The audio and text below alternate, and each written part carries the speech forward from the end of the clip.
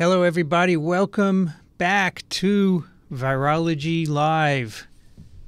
Today is session number eight. We are going to be talking about viral DNA replication. Welcome, everyone, uh, from uh, all around the world, apparently. It's great. So let's dive right in here for two hours of the coolest subject on the planet. As you know already, all viral genomes have to be replicated to make new progeny, and that goes for uh, viral DNA genomes as well. And here is today's cast of characters. Of, of course, this is the Baltimore scheme. And in the middle, here is mRNA. This should be a scheme very familiar to all of you. And on the top are those viruses uh, with DNA genomes. We have viruses with single stranded DNA genomes, we have uh, gapped double stranded DNA viruses. We're not actually going to talk about uh, those today. Those will be the subject of Wednesday's session because they have reverse transcriptase in their reproduction cycle, even though they have DNA in the particle. Uh, and so today we're fo- and then of course double-stranded DNA viruses that down there just above mRNA.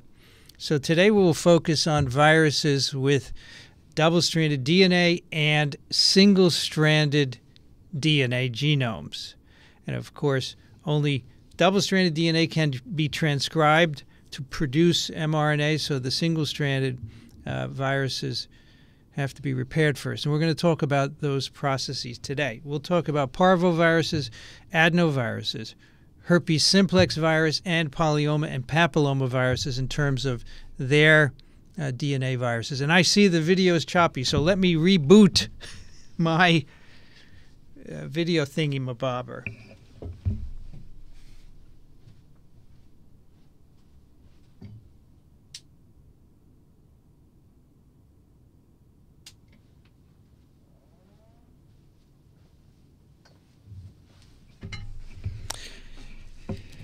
Having issues with my um, video switcher. It's brand new, and I have a number of issues. And um, uh, maybe it's a, a lemon. My gosh, it's not cheap. I don't know the solution because you can't get these things fixed. I, I want to buy another one.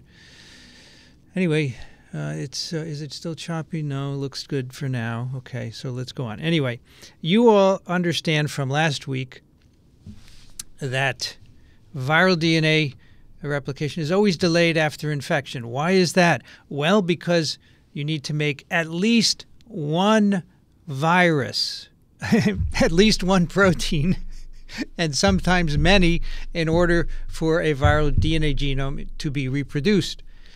And so today we're going to look at what those proteins are. But last time we talked about how to make that protein, you need to undergo transcription. The viral DNA needs to undergo transcription, and therefore, that is why DNA replication is always delayed after infection.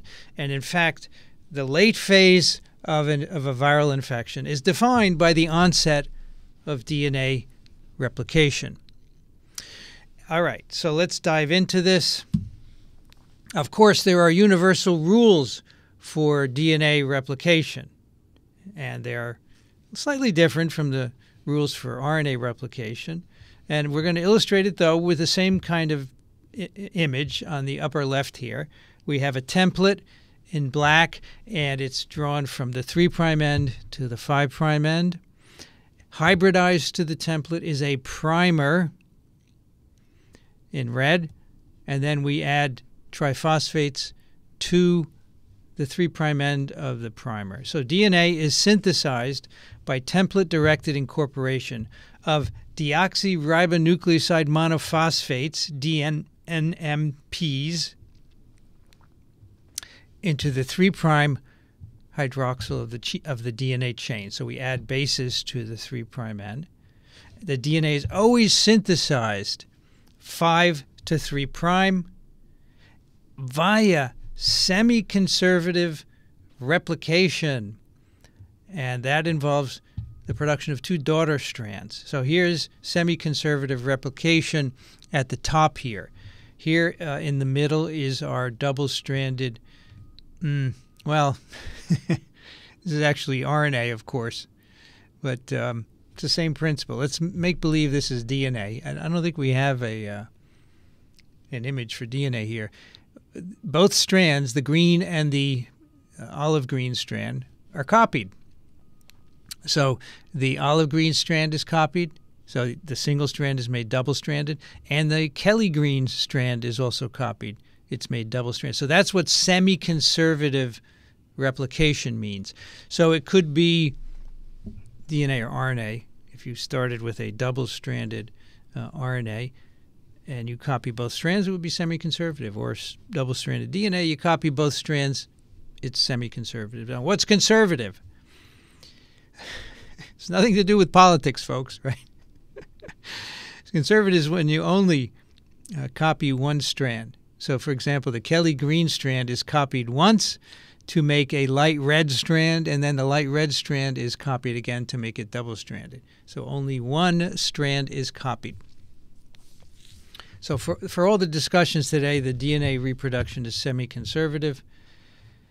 Uh, the replication initiates at very specific sites on a template called origins. You remember last time we talked about where transcription initiates on an DNA template, the synthesis of RNA, mRNAs, for example. Those were called promoters, or uh, the start site is part of the promoter. And um, for DNA, the DNA synthesis begins at the origin of replication, or origin, or ORI. Ori. It always reminds me of Ori Lieberman from This Week in Neuroscience. Ori. The synthesis is catalyzed by, of course, an enzyme, DNA dependent DNA polymerase, DDDP, and accessory proteins. What are accessory proteins? Accessory proteins are other proteins that are needed for the activity of the enzyme. And we'll talk very briefly about those today. And finally, even though I've shown you a primer here, DNA synthesis by DNA dependent DNA polymerase can be primer dependent or primer independent. And that is actually a very new development in the world of DNA replication.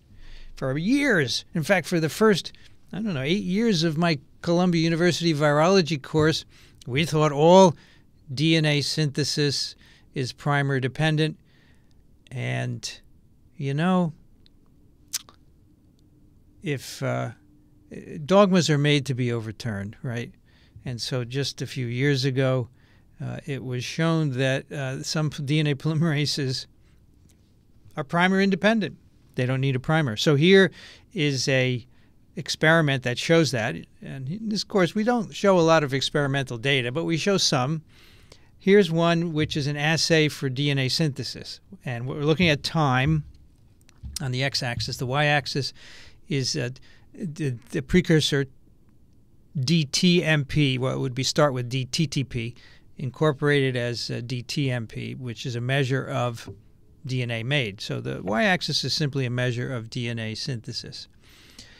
And we have uh, added in this, we've made a reaction with uh, four different conditions, uh, two different DNA polymerases with or without a primer. And we have a template here that's being copied. So we're measuring DNA synthesis. And here in red is T7 DNA polymerase, T7 bacteriophage with a primer. And you can see this very nice incorporation of uh, TMP into the product. But if you leave out the primer, that's the orange line, there's no DNA synthesis. So that is an example of a primer dependent DNA polymerase. Um, then we have uh, another polymerase, uh, which was the subject of this paper. It's a, a polymerase encoded in the genome of a bacteriophage called NRS1, which infects bacteria that inhabit deep sea vents of all places at the bottom of the ocean, right? You have um, uh, lots of bacteria down there, right, around those hot vents, and there are phages that infect them. So at some point, you know, people have sampled them, and why not study them? Why, why not? Because here we discover that this DNA polymerase from this deep sea vent bacteriophage NRS1 is primer independent. So here the blue and the green lines without and with a primer, you still get DNA synthesis. A primer independent DNA polymerase dogma overturned. You just you just have to love it.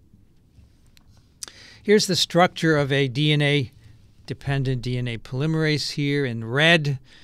And if you remember the polymerases, the nucleic acid polymerases have uh, the topology of a right hand uh, with the active site being in the palm, and the yellow are the residues that make up the catalytic part there, the active site.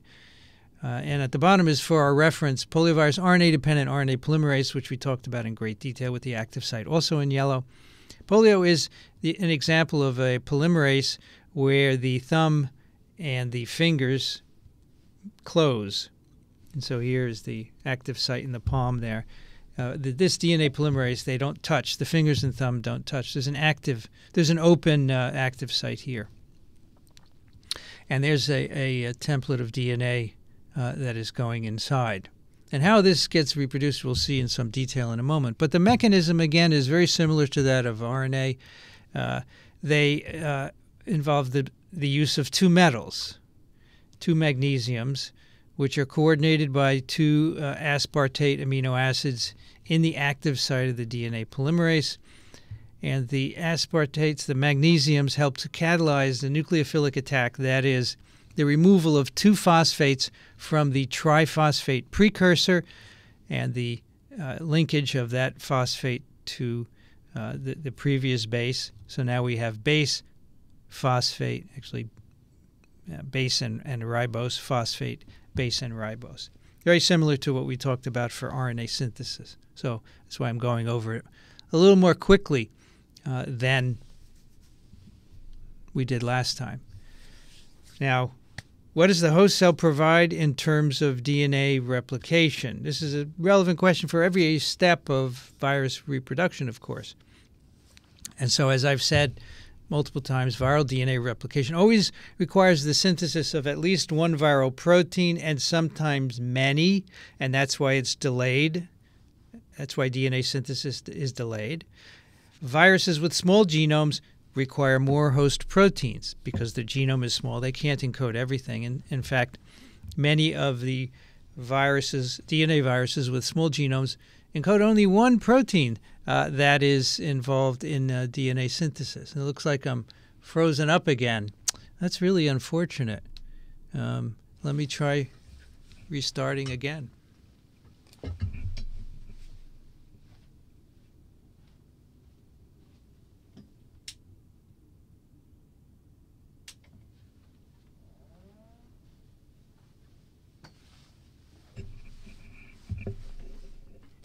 I don't know, maybe it's the streaming software.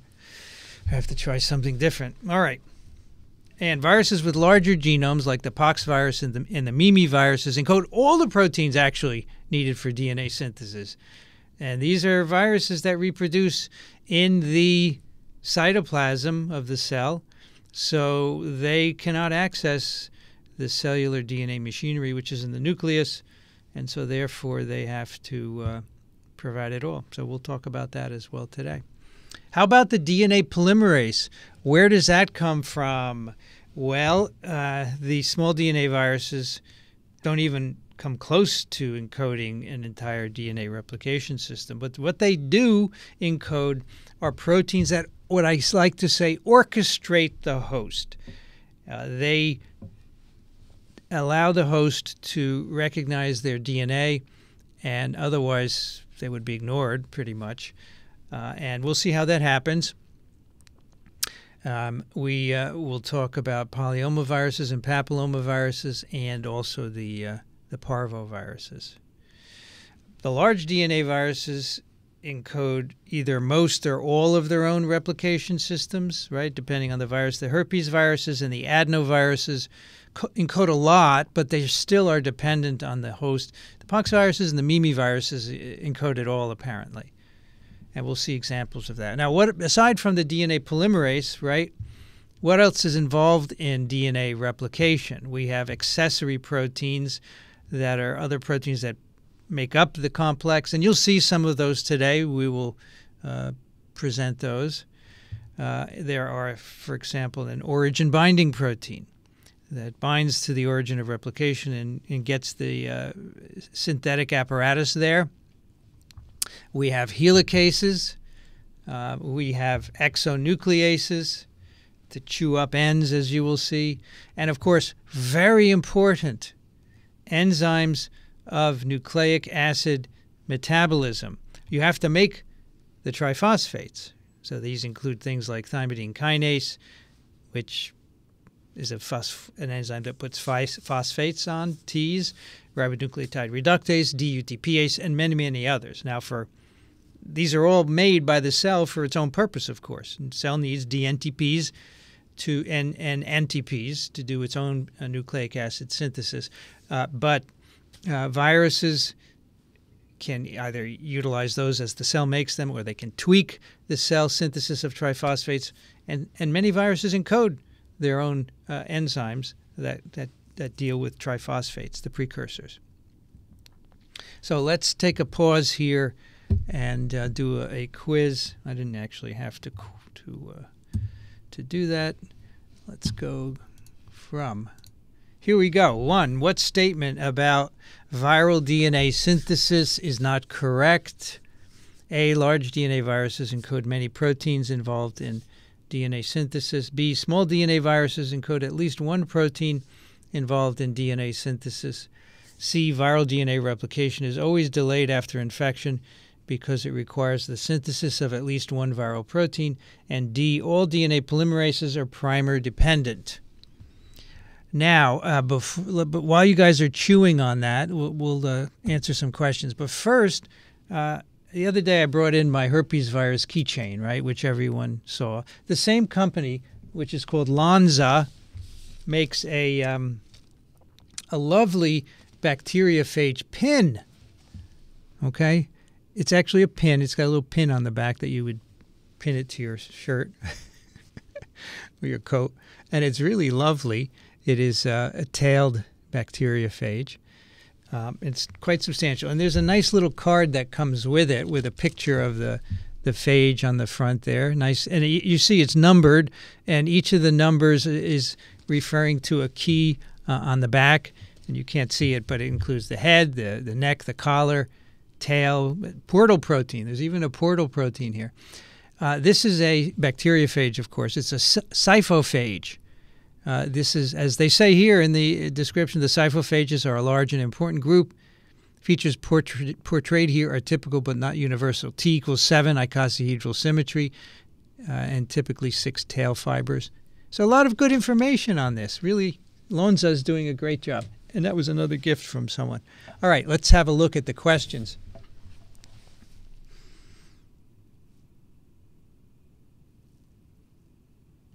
Let's see. Is the primer independent DNA polymerase activity specific to viral DNA replication? Yes. That's exclusively DNA replication because the uh, DNA dependent RNA polymerases don't require a primer, as you remember. And then it depends for the RNA polymerase, RNA dependent RNA polymerases, it really depends.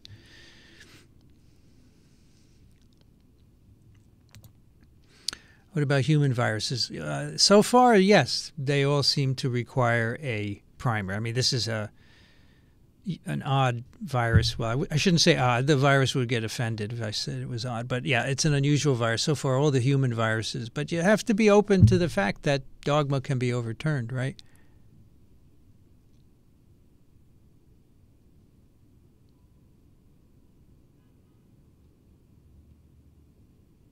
You see, when when it's just me, I never freeze up. When it's the me next to the slides, it does. So maybe next time it freezes, I'll just cut me out. Thank you for organizing. Are these the same as the lectures 2021? I would say um, the spring lectures are about going to be about 10% different. Um, so I always revise. Plus, here we have a a live audience, which makes it very different because people ask questions that uh, you know I don't talk about. And I spend so these lectures are two hours because I spend a lot of time answering questions. So that makes it really unique, I think, and their quizzes and so forth. Yeah, the pin is really great, isn't it?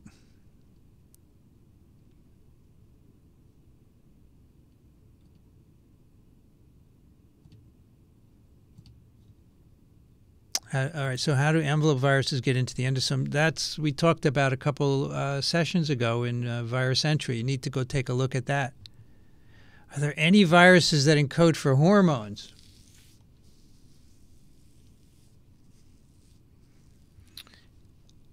Uh, you know, I, I have something in my head that says yes, and I can't remember it, but we talked about it on a TWIV. I have to go back and look at that.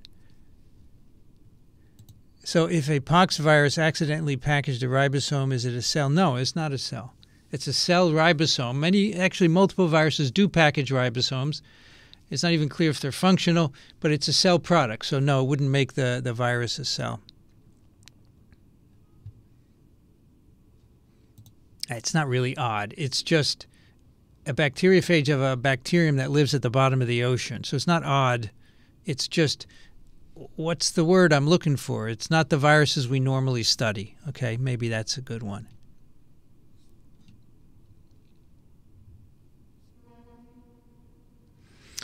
All right, so let's have a look now, and this will be um,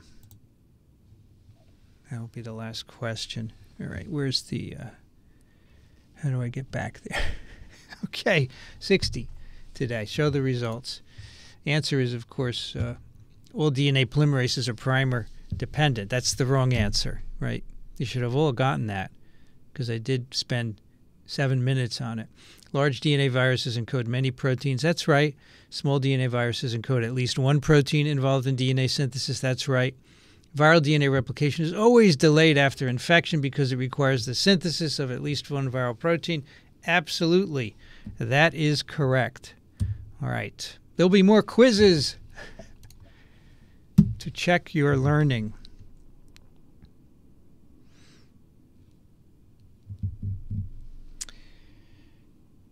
So, today we're going to talk about the replication of a diverse number of viral DNA structures, and they're shown here. We're going to talk about parvovirus genome, which is a single stranded DNA with unusual terminal repeats. We are going to talk about uh, polyomavirus genomes, which are circular double stranded DNAs. The parvo is 4,600 bases.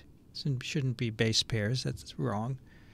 I don't know if that's something I wrote or is it from the figure. I need to find out. Let's see. Yeah, that's from the figure in the book, so that's wrong.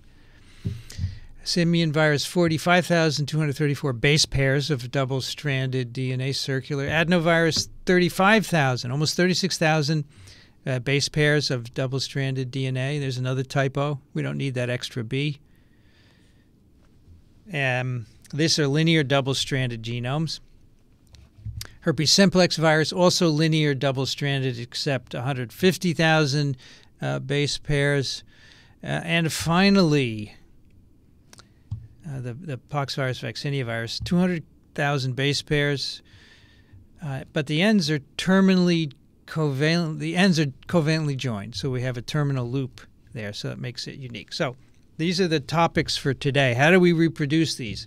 Now, first of all, um, the mechanisms of DNA synthesis. There are two mechanisms, in uh, broadly speaking, shown on this slide. On the left, a replication fork. On the right, strand displacement. You also see that flashing of the slides. I don't know what's causing that. You know, I come in here and I spend all day teaching and podcasting, I don't have time to troubleshoot my machinery. I have to do that. So, replication fork we see for papilloma, polyoma, herpes, and retroviral proviruses. Retroviral provirus is in, in, inserted into the genome. And so, this is actually the way our genomes reproduce by replication forks. And the strand displacement we see in adenoviruses and parvoviruses. So in a replication fork, essentially the DNA strands are separated. It looks like a fork, and both strands are copied at the same time. The primers here are shown in green, and the new DNA is shown in shades of red. So, replication fork DNA synthesis always requires RNA primers, always. On the other hand, strand displacement, you do one strand at a time. In this case, you've initiated with a primer, um, and now you're copying the bottom strand, the minus strand here. You're displacing the plus strand, but the plus strand is not being copied at the same time. Right? And then later you will separately copy the top strand. So that's why it's strand displacement. The synthesis is displacing the top strand here. Uh, this kind of synthesis requires a primer in, in most of the viruses, except that one bacteriophage, right, uh, is an exception. Um, but for these viruses, it requires a primer. This is never RNA primed. It, the primer is either a protein or a DNA. So you can distinguish these two modes of uh, DNA replication by the mechanism of replication fork or strand displacement and the kind of primer. RNA primer is always in a replication fork, strand displacement priming with RNA or protein, with DNA or protein, sorry, never with RNA.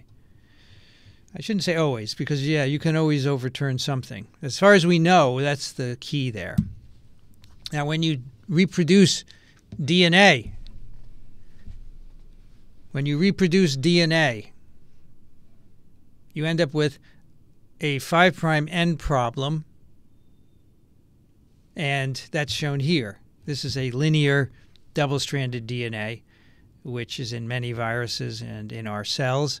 So when you duplicate it, you have a problem at the 5' prime ends illustrated here. So we have the two strands separated because we're copying each one. And we have now copied the top strand and the bottom strand. We have a primer initiating the synthesis, right? Here and here.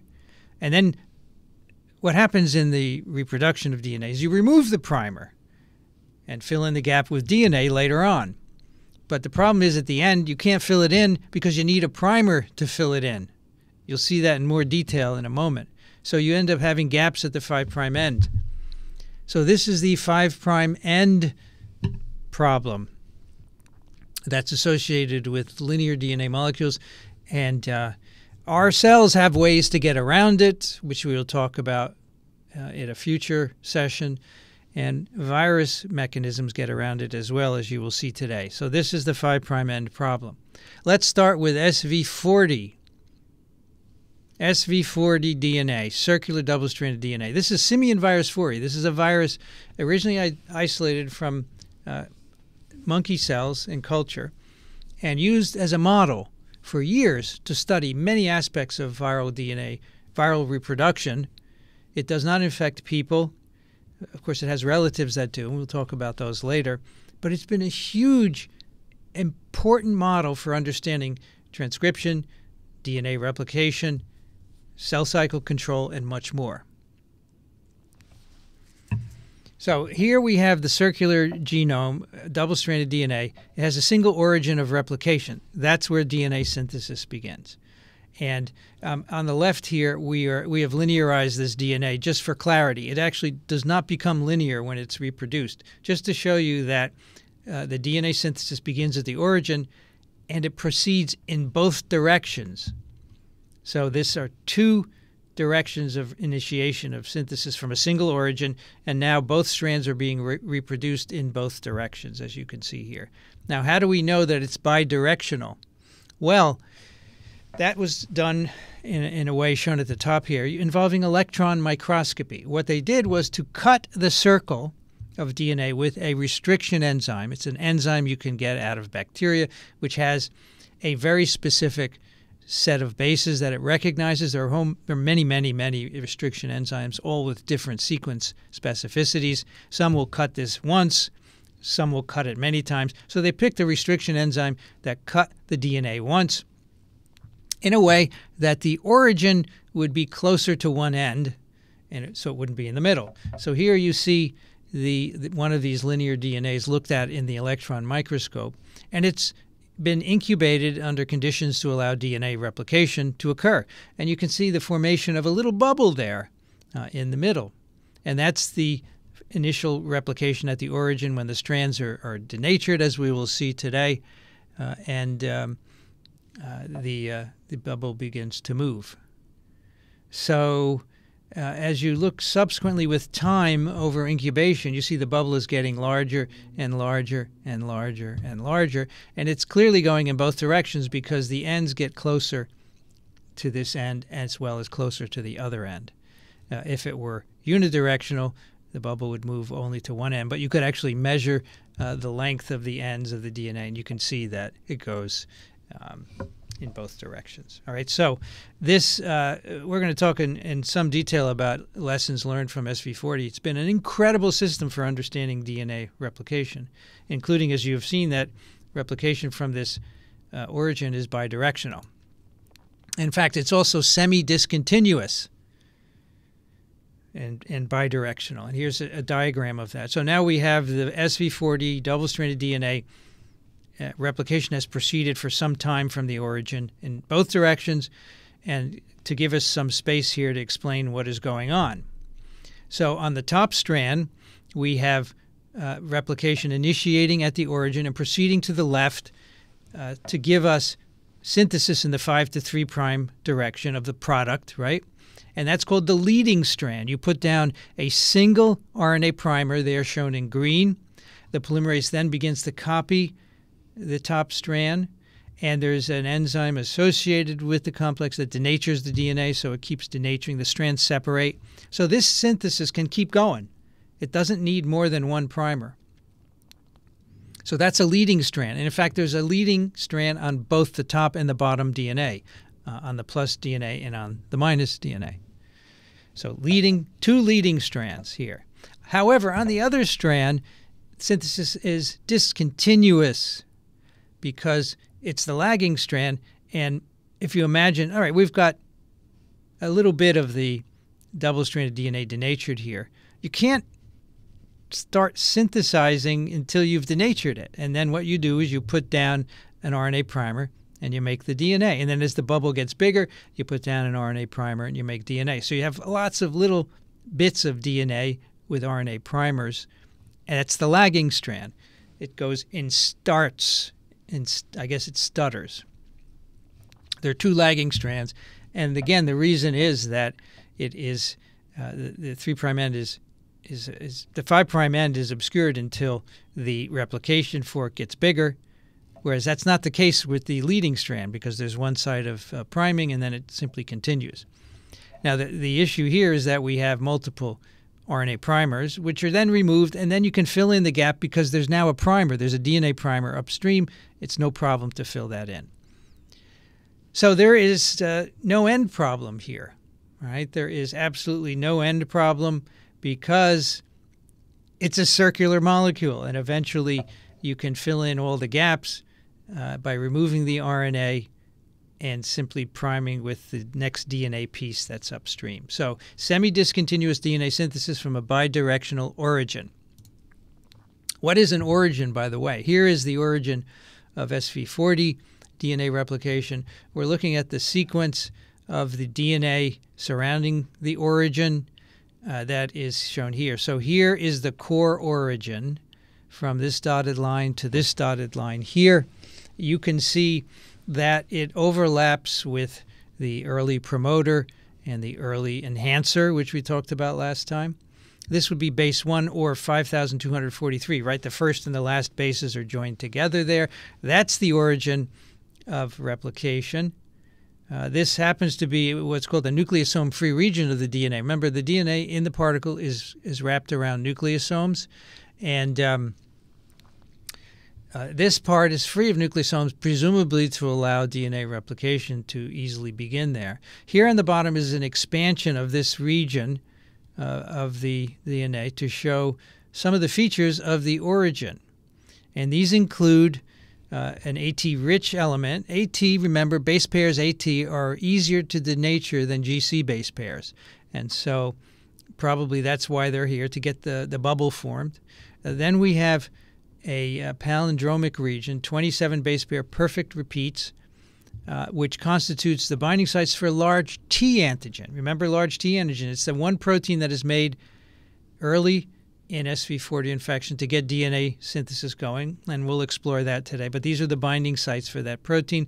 There's another palindrome on the other side, and then more uh, LT binding sites on the right. So that's the origin of SV40 replication. Here's how the replication begins DNA replication. First thing that has to happen is that the viral DNA is uh, recognized by the DNA synthesis machinery of the host. So here again is SV40 DNA. There's the origin of replication with uh, the large T binding sites in the center.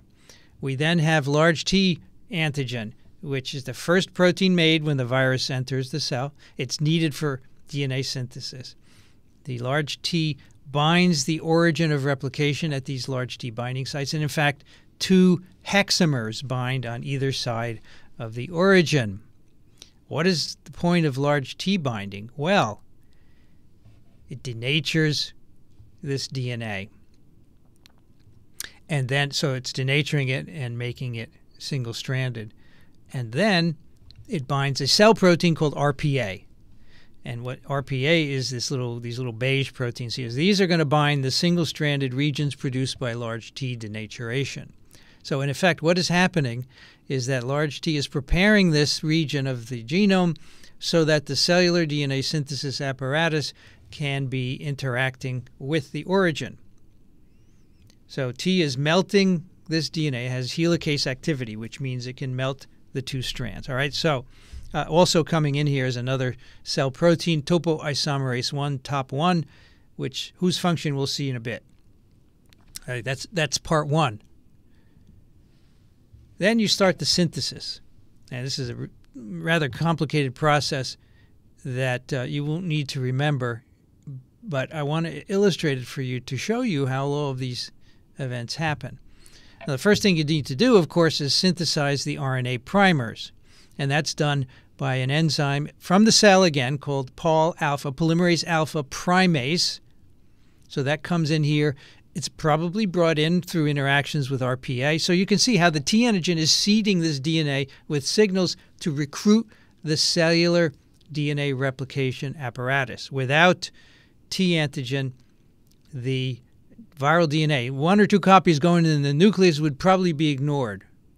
But this brings the cellular DNA apparatus to it. So you make short RNA primers, and then this uh, polymerase can also make short DNAs, right?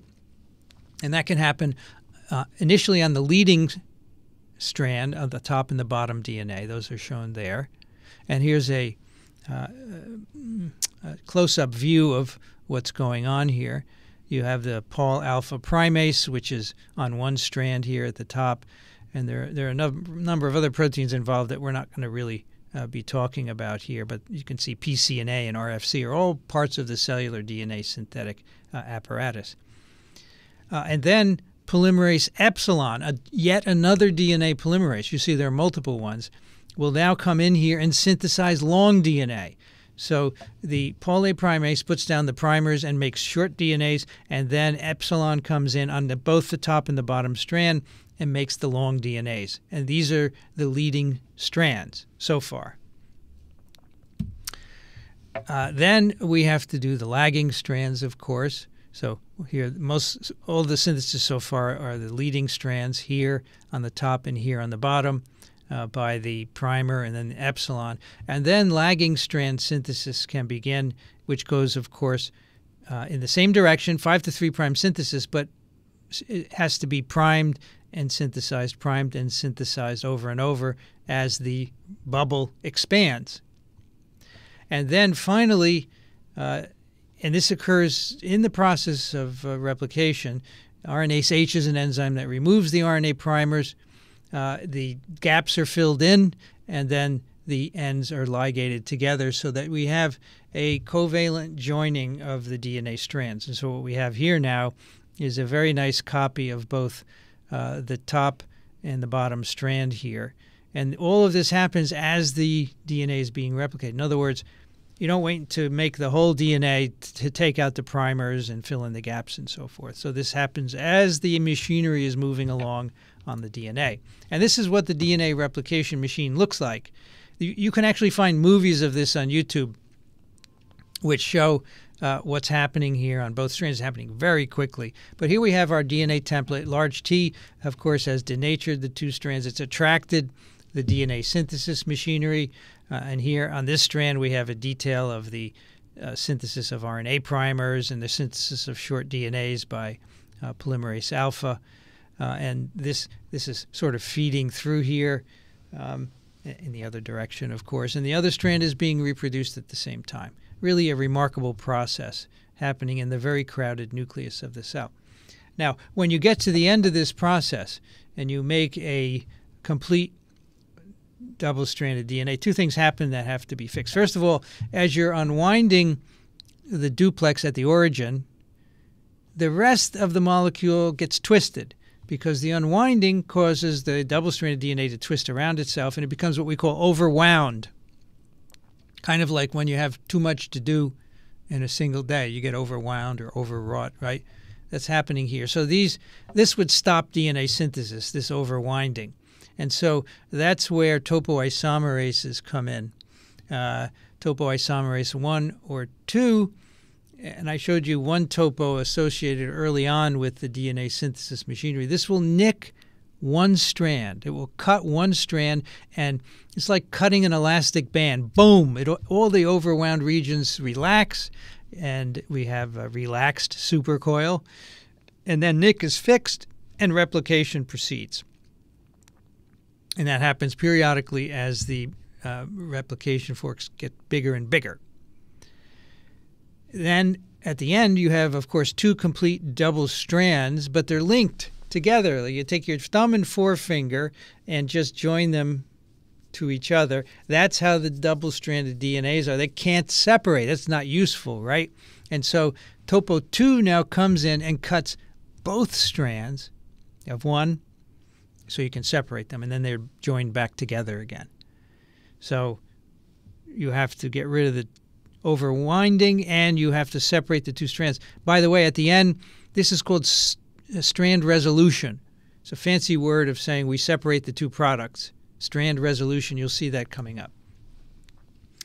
All right, it's time for a um, another quiz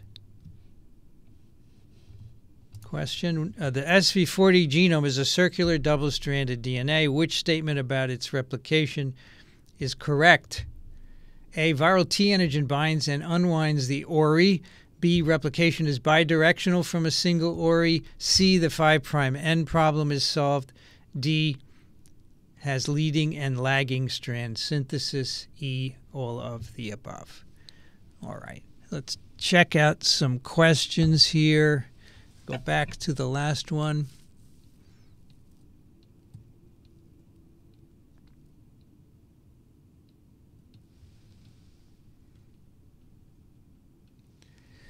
I don't know why there's so much trolling. Somebody, a lot of people are trolling, and others are saying why. I have no idea. Go figure.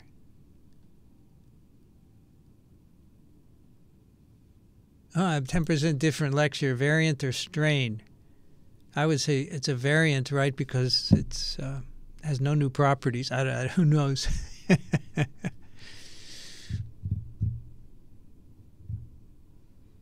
Hmm, do, B, do virus infection of B cells affect the antibody repertoire? I'm not aware of any uh, case, but I do know that Epstein Barr virus infection of B cells will immortalize the B cells, make memory B cells out of them.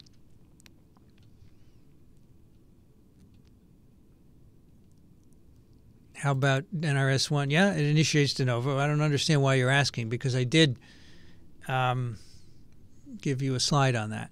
Not sure. Lab demonstrations, unfortunately, not. Uh, but this is just the first year of this course. Stay, who knows? We could try different things. Uh, but right now, this is a, just talking. We're talking.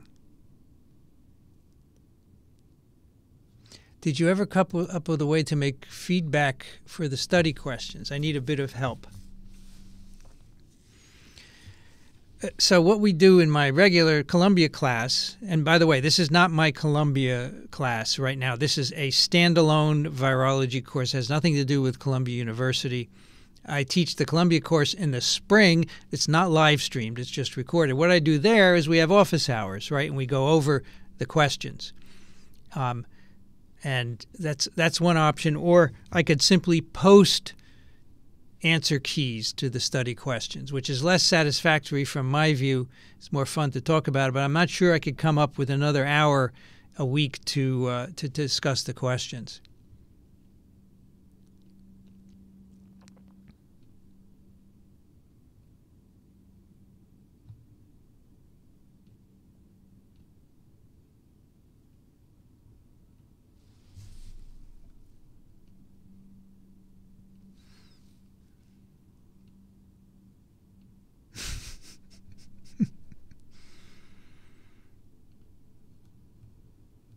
SV40 replication, how do the gaps get filled and when? As the DNA, as the bubble is growing, right, the replication bubble is growing, they get filled in on the lagging strand after, I don't know the exact number of bases, maybe a few hundred bases, they get filled in as the thing is growing. So as I said, it doesn't wait till the end.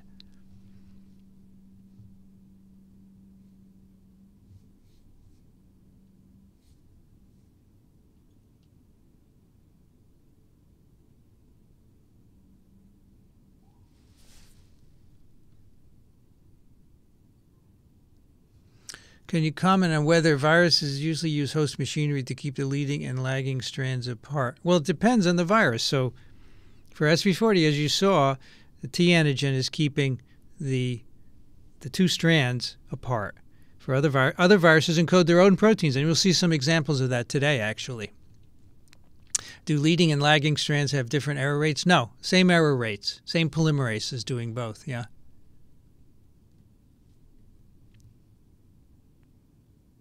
And someone answered that correctly, right? Is large T packaged with DNA? No, it is not. Large T is that's why large T has to be made, first protein made in an infected cell, right? How does topo know where to cut? Well, it doesn't have to cut any particular place. It just needs to nick. It could be anywhere on the circle. So it just waits till the whole replication is complete for the for the double strand cut. For the single strand, it just cuts it periodically. It may be responding to tension. I'm not sure about that.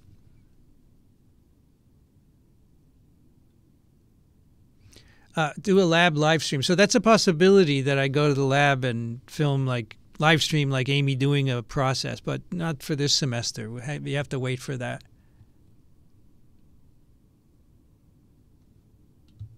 So there are a lot of questions on transformation which are going to be in a subsequent session. Please hold on for that.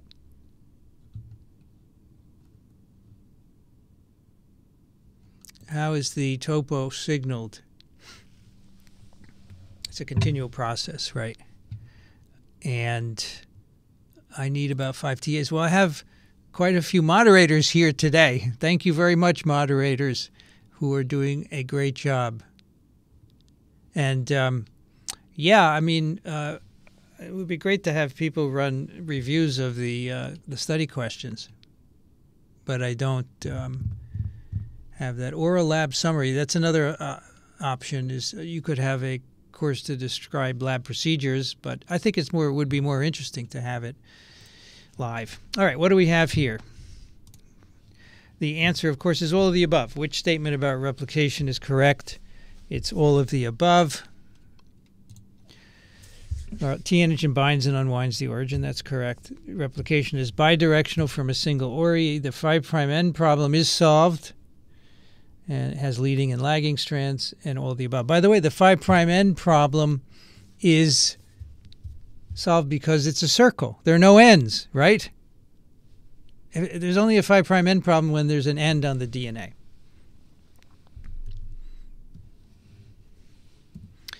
So, moving to the parvoviruses, these are the viruses with single stranded DNA genomes. Here's what the DNA looks like single strand, it encodes really only a few proteins the rep, the replication protein, and the cap, the capsid.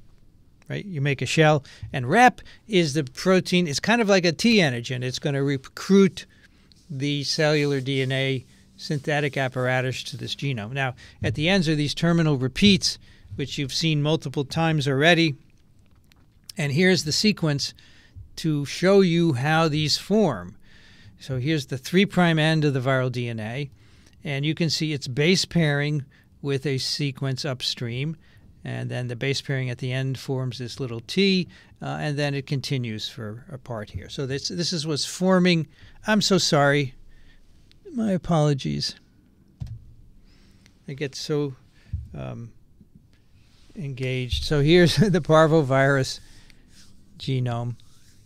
Uh, on the top there is the single-stranded DNA with two open reading frames encoding only a replication protein, the rep protein, only the capsid protein, and two uh, terminal repeats. And now on the bottom is the DNA sequence, which will show you what these terminal repeats look like. You can see the 3' prime end of the viral DNA there. It is base pairing with a segment upstream to form that, that T structure. So the whole region is base paired uh, and that's present at either end of the DNA. Now, the, the 3' end, of course, is where DNA synthesis is going to begin, and that's the origin of replication. You see ORI is labeled right there. Now, so this is the primer for DNA synthesis. This self uh, hybridizing piece of DNA is the primer. So you don't need a piece of RNA you don't need any other primer. This is it. It's built into the viral DNA. Okay? The primer is built into the viral DNA. And so, how we keep it there is actually a good question. We're going to see how that happens. All right. Here's the process on the left here. Kind of complicated, uh, and um, but we'll go through it. So we start with the viral DNA, which is is forming these hairpins. Now on the top, I have stretched out. I've denatured the ends so you can get an example, uh, get a sense of the sequence, and I've labeled these with A's and A primes, which means A and A prime are complementary. All right, they're going to hybridize with each other. So this A here is going to hybridize with A prime and so forth. All right, so this is a hairpin as it comes into the cell, hairpin at both end. it is single stranded, right? What is the first thing that has to happen when this DNA gets into the cell? You have to make a protein. It means it has to be transcribed, but it's single stranded. It can't be transcribed. So it is actually repaired by host cell polymerase delta. This is a, according to the host cell, this is broken DNA. So it'll be fixed, and it's fixed by a host cell enzyme, polymerase delta and that's shown in red here. So now the polymerase has started at the 3' prime end of that hairpin using the hairpin as a primer, has copied the bottom strand. That's the red product. And I'm showing you the copying is going all the way to the 5' prime end. So it denatures the, the, uh, the uh, secondary structure at the right end of the genome. That T structure is denatured. So the polymerase copies all the way to the end of the DNA. If it didn't, that would be a big problem. You would lose the end sequence, so it has to copy to the end. Okay, now that can be uh, transcribed. It's double-stranded DNA. Can make an mRNA encoding the rep protein. Rep 7868 is the name of the protein. And the, the rep protein is going to bind to the origin, and it's going to nick one strand, make a cut in one of the DNA strands here uh, between A prime and D, site of sequence specific nick. The rep protein recognizes a sequence here and makes a nick. Why is the nick needed? Well, because that's going to be uh, where we start DNA synthesis. So now, when you make the nick, this uh, hairpin, the, the polymerase, the polymerase of the cell, polymerase delta, will continue to fix that single stranded region and copy it in red. So now we have a fully double stranded version of the parvovirus DNA. And the repair sequences by polymerase delta are shown in red at the top and in red at the bottom. So the nick is essential for copying that left end. So now the ends uh, reform hairpins, and now you have a 3' hydroxyl. There's still rep protein bound there, and that will recruit the DNA synthesis apparatus of the cell to do strand displacement. So now we're initiating at the 3' hydroxyl of the red bottom strand, and we're starting to copy the, the blue DNA. We're displacing the top DNA. So that little pink arrow is going to go all the way to the end, and you're going to end up with a structure that's shown at the bottom here, which is basically a fully double stranded version of the genome, which can go back up here and start the process all over again. The rep 6878 will nick it, the end will be copied, and we'll go through this. So we have one strand copied, but the other strand is sitting here. It has to be copied also, and that will be copied uh, in the same manner that we talked about before. All right, so the top strand is displaced, and the bottom strand will be copied, and it starts at the 3' prime uh, hydroxyl, of course. So replication is continuous, so there's no discontinuous because you're always going 5 to 3 prime. There's no polymerase alpha. It uses uh, polymerase alpha, of course, is the enzyme from the cell that makes the primers. It uses the inverted terminal repeat to self prime. Uh, the polymerase delta is doing the copying, and the rep 6878 make that nick, uh, and they make nicks to separate the both strands. That's called strand resolution. There's no replication fork, there's strand displacement, and both strands are being copied. And of course, there's no end problem because the primer is built into the DNA, and because the polymerase goes to each end to copy the molecule each time, you don't lose any sequence, so the primer is always present. Okay, next we move on to adenovirus, moving to larger and larger DNA viruses so they can encode more and more of the DNA synthetic apparatus. SV40 and parvoviruses, one protein involved in DNA replication. They're relatively small genomes, but now adenovirus is bigger, about 35 to 40,000 base pairs of linear double stranded DNA, and there's an origin at both ends. That's where the DNA synthesis is going to begin. And synthesis occurs by strand displacement. So this DNA gets into the nucleus in a process that we talked about before.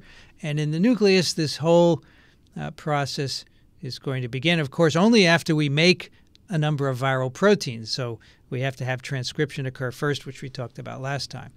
Now, adenovirus DNA synthesis is primed with a protein linked primer. So let's start with the double stranded DNA here on the top, and we're expanding the left end. Uh, the 3' prime end of the bottom strand is shown here, and that's where DNA synthesis is going to begin. The primer is a protein called pre terminal protein linked to a single C. So the polymerase actually produces that primer. The C base pairs with a G four bases in from the 3' end of the genome. Uh, then the polymerase begins to add bases. It adds an A and it adds a T. And then it slips back three bases because the C it's a repeat here, GTA, GTA. So CAT will work to, to hybridize to the first GTA, and then synthesis continues. The, the pre-terminal protein is left behind and the polymerase shown in purple goes on to copy the DNA in a strand displacement mechanism. So here we are having our polymerase, right? First, it's coming in with pre terminal protein, it's priming. The polymerase is now moving down the bottom strand, it's displacing the top strand. And as the top strand is displaced, it's bound by a yellow protein called DNA binding protein, which is a viral protein to keep it single stranded.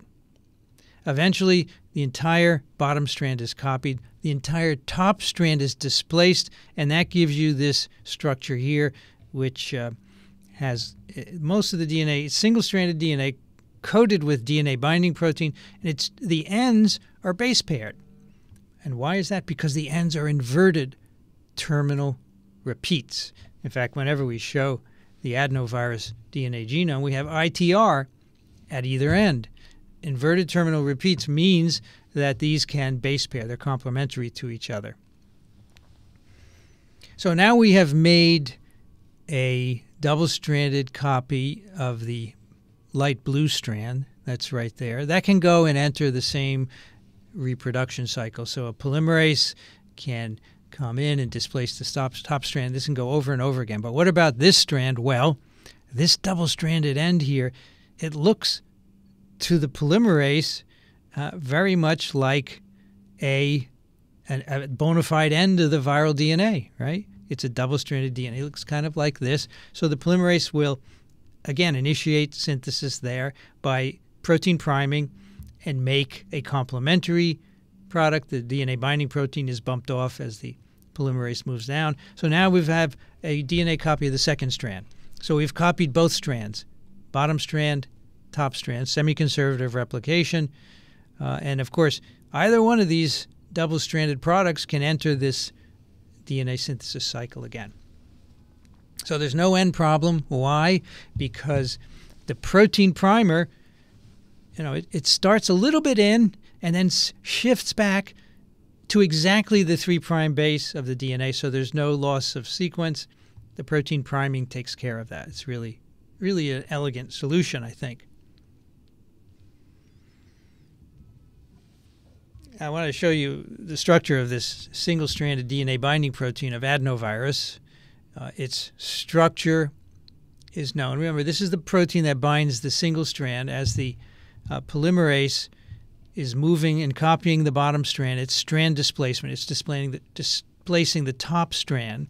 These molecules of DNA binding protein, which have to be made before DNA synthesis can begin, are binding to the uh, DNA, single stranded DNA. This is the structure of the DNA binding protein. It has a, uh, a, a body with a little piece of protein sticking out. It kind of looks like a plow. And the idea is as these proteins bind, they help denature of the DNA. This little protrusion here sticks into the duplex and helps denature it. By the way, the DNA polymerase is also a viral protein. So this is an example of a virus that encodes its own DNA polymerase. It doesn't encode everything, but encodes quite a bit, including the polymerase, DNA binding proteins, and a few other accessory proteins uh, that are involved in DNA synthesis. Let's do another quiz. This is question three. And this is um, how is DNA replication of parvovirus and adenovirus similar? A, they both require protein linked primers. B, replication occurs by strand displacement. C, DNA synthesis occurs in the cytoplasm. D, replication fork occurs in both. E, none of the above. So, parvo and adeno, what is similar about the two of them? And we will go do some questions here.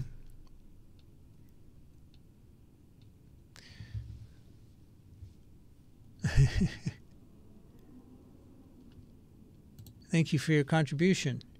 Is there a realistic picture of Corona? Yeah, I do have it. And um, you should send me an email, vincent at microbe.tv. So we'll do it for that. Sorry about not seeing the slides.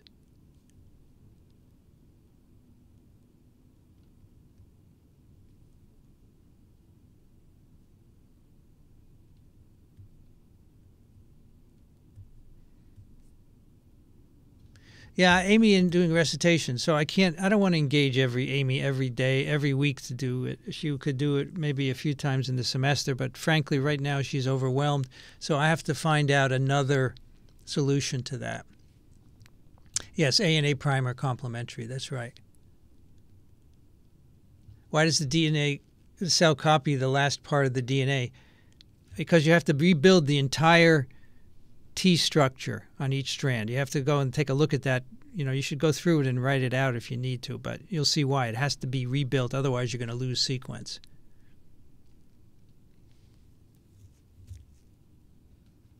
Is this right? Transcription makes proteins? No. Translation makes proteins on ribosomes. Uh, replication uses makes DNA or RNA, but transcription is specifically the synthesis of mRNA from DNA templates. With the ITRs, can DNA synthesis start at either end? No, not initially because there's only one 3' prime end on the single-stranded DNA, so it can only start there. But later on, once you have two strands displaced, you could start at either end, yes. But it has to be a 3' prime end always.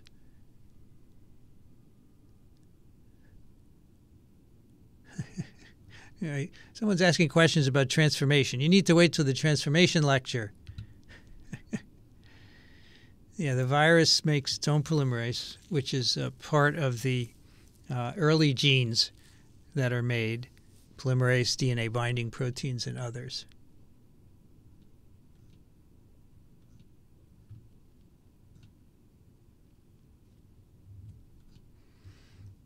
So if you're taking the quizzes, by the way, you have to keep the browser page open, otherwise it's going to mess it up. Sorry. Uh, the, the, quizzes are working. Enough people are um, getting them to work. Okay. Let's um, let's move on to answer our question. Here we go. How is DNA replication similar? What's the answer? Replication occurs by strand displacement. They they don't both use protein linked primers. Parvo is not is a DNA primer. Adeno is a protein linked. Uh, DNA synthesis occurs in the cytoplasm. No, not for these viruses. Pox and Mimi, yes, but not for these. They're nuclear. Replication fork occurs in both, uh, not in either one. They're both strand displacement right? Answer B. And so B is the answer there. Okay. Quiz is working. I got 52 people answered. Um, you could restart if if you have ha- having issues. Okay, moving to larger and larger viruses, herpes simplex virus. Here we have two, a big double-stranded DNA linear, two origins actually three origins. They're called or two Ori S and one Ori L. So what does that mean? Well, DNA synthesis can can initiate at any of those three origins. It's a very long double-stranded DNA. Uh, the DNA enters the cell through the portal.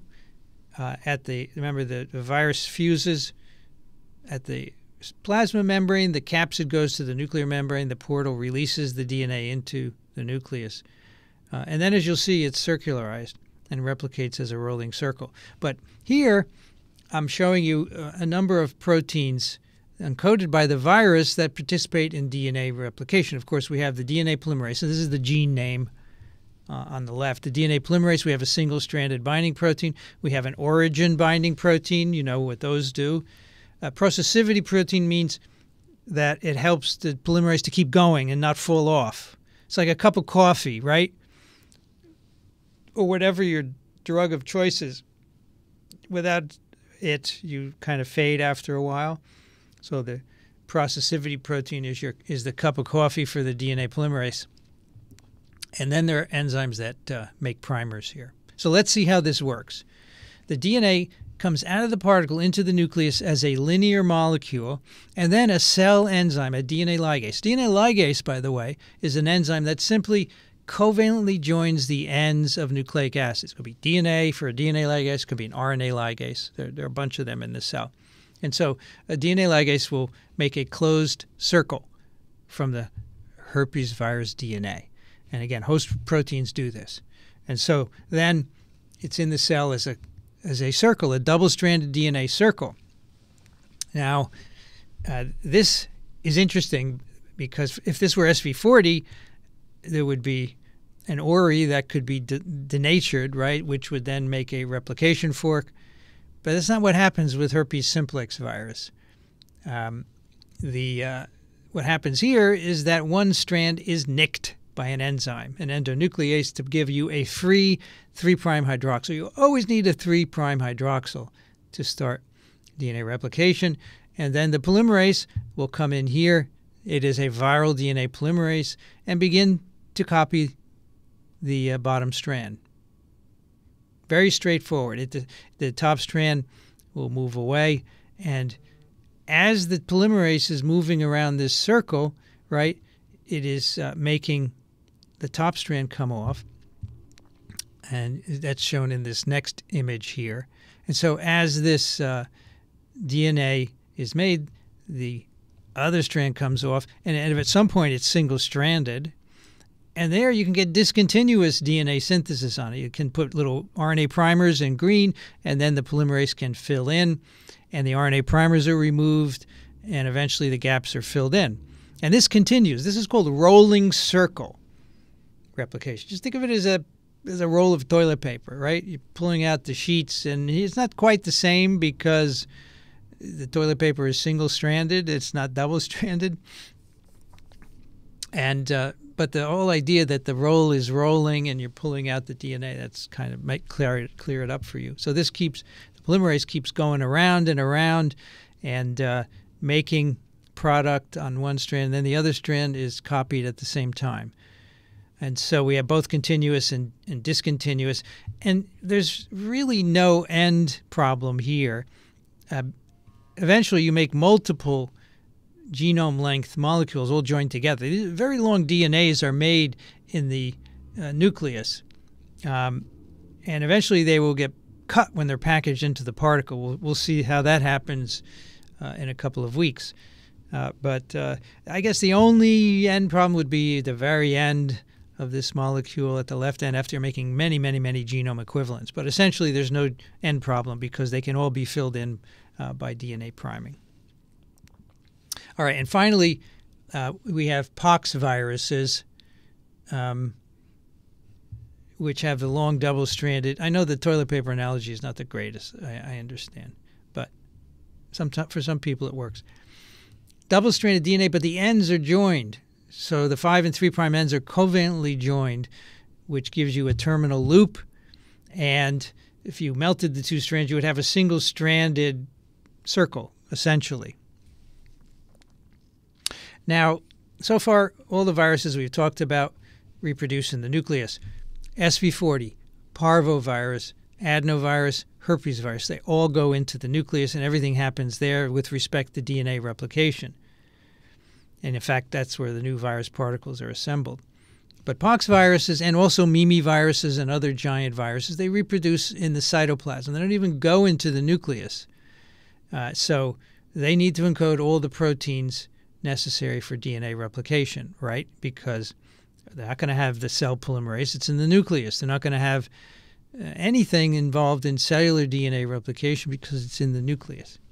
So these these viruses, pox viruses, mimes, and other giant viruses encode everything they need for DNA replication. Now I'm going to show you an example of uh, where where replication of uh, pox viruses occurs. These are some pictures that Rich Condit gave to me many years ago. So this is a vaccinia virus infected cell. Vaccinia virus is a pox virus. Right? There are lots of different kinds of pox viruses, including smallpox virus, which nobody can work on anymore. But uh, vaccinia virus is a related virus that you can work on in the laboratory. And so what we have here is a single cell that is infected with vaccinia virus so many hours after infection. And uh, in the first panel, the cell is stained with DAPI, which is a dye that will stain DNA. And what you can see is that the nucleus is staining very nicely. You can see it's a nucleus. Usually DAPI is used to identify the nucleus. But what you also see here is you have staining in the cytoplasm of the cell. How do I know it's the cytoplasm? Because it's not the nucleus, right? The nucleus is circumscribed by a nuclear membrane. So obviously, if this were an uninfected cell, you wouldn't see any staining here. That would be a nice control to have, but I don't have it. An uninfected should show no cytoplasmic or very little cytoplasmic staining, right? There's mitochondrial DNA. But here there's a lot of cytoplasmic staining. So what is it? The next slide, we stain the cell with an antibody that is against the viral DNA binding protein. And there, the binding is, is indicated by red fluorescence. We are using uh, a second antibody that's got a red, that has a, a dye on it that will fluoresce red under UV light. And so here now we see in the cytoplasm, there are foci of what look like DNA binding protein, right? Defined by our antibody. There's nothing in the nucleus, which is good. Well, it's not good or bad. It's what we observe, right? Because for some viruses, the DNA binding protein would be in the nucleus, yeah. But here, they're clearly in the cytoplasm, which implies that um, DNA synthesis is occurring in the cytoplasm. And then when you merge the blue and the red uh, uh, sections, not sections, the blue and the red colors. You computationally merge them because you have them separated. And now you can see that the red correspond to the red are overlaying with the blue areas of uh, viral DNA replication in the cytoplasm.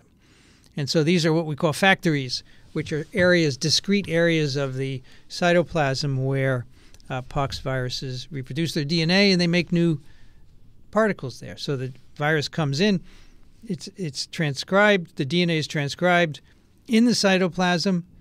Uh, the viral proteins are made, of course, in the cytoplasm. The factories are made, DNA replication begins, and eventually uh, new virus particles are made there as well. okay, so this is how the DNA re replicates. And again, there are at least 15 viral proteins involved, probably more. Hasn't been all sorted out. But again, the virus appears to encode everything it needs. Uh, so the, um, the DNA reproduction uh, occurs on this uh, dimer. So I'm showing you the genome here um, with the two strands separated. It doesn't actually occur that way, but it is a single stranded circle which is base paired along its whole length, and just the ends are not base paired, right? So we think that replication initiation occurs near the ends. How that happens, not clear, but you would have to put down RNA primers, uh, and then the polymerase would start, the viral polymerase would start to make uh, DNA, which is shown here uh, at the end. And eventually, the DNA polymerase is going to go around that whole single strand and make an actual double stranded DNA, which is called the dimer. There's no end problem, right? Because the polymerase will eventually come back, and as these RNA primers are removed, can fill in the gaps.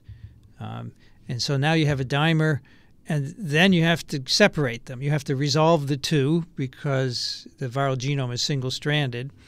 Um, we're not quite sure how that happens. Uh, must it may involve some nicking and, and separation, but how it happens is absolutely not known. But in the end, you have two monomers. We know that for sure because this is what's packaged into uh, the, the, new virus particles. So um, there's no end problem because there is no end, and that may be part of the advantage of vaccinia virus to keeping a circular DNA genome. All right, now we have one more quiz. So, what makes poxvirus DNA replication different from all the other viruses we discussed today? A. RNA primers are used by the DNA polymerase. B. DNA synthesis occurs in the cytoplasm. C. DNA synthesis occurs by strand displacement. D. None of the above. All right, let's take some more questions.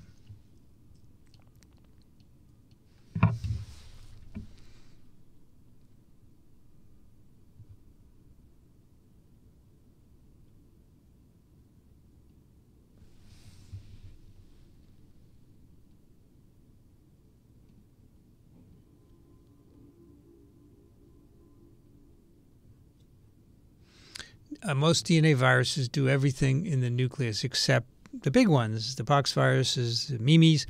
But even the some of the giants are not exclusive to the cytoplasm. Some of them do both. But yeah, we vast majority of the others are in the nucleus for sure. Uh, the the idea of a live lab stream would be for Amy to join, but right now she cannot do that. It's she's really uh, quite busy. Is that the same process as Okazaki fragments? Yeah, it's basically the same thing. Yep. Does herpes infect the brain? It it, uh, it can. Most of the time, it infects the peripheral nervous system. When it gets into the brain, it causes encephalitis, and that's a problem. But we will talk about that in pathogenesis. Do the ligase make circles of host nucleic acids? No, they don't. The ligases end, uh, join ends of DNA, but not to make them circular uh, during, uh, say, replication. Uh, when you have to join ends after you remove an RNA primer and fill in the gap, that sort of thing. Are there any innate immune sensors that recognize foreign DNA in the nucleus? Yes, there are. Um, uh, both cytoplasm and nuclear sensors for DNA. Yep to antibody stain DNA binding protein? Are cells fixed? No, you have to fix the cells always. Yes, they the antibodies will not get in uh, across the plasma membrane unless you fix the cell. If you don't, you're just going to be staining plasma membrane proteins, which in this case is not useful, right? Does pox fold back? No, I don't believe it does. No. I thought physics was most life perspective altering, twisting science, but virology is proving itself to be a dark horse. For I think in a different way, right? Physics and math do mind twisting in ways that are very different because they are physical and mathematical ways to explain the universe, essentially, right? I mean, viruses it's a different thing, but I agree it's mind bending. And I think most people don't appreciate it, which is why I do all that I do. I want people to appreciate it. That's my sole purpose is just to spread the word about viruses.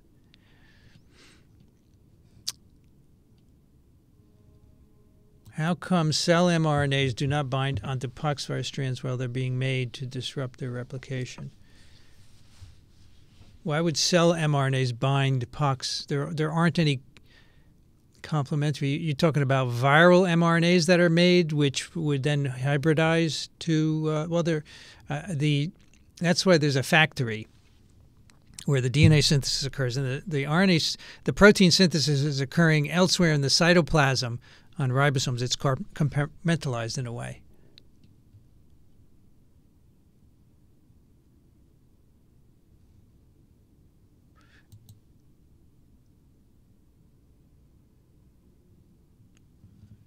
Earlier tension was mentioned. Are measurements of tension along DNA strands able to be made?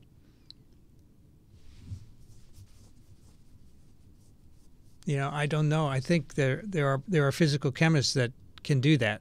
I'm I'm not familiar with it. I'm sorry. I don't know how long I can tag along with me missing some concepts. Everything becomes more gobbledygook.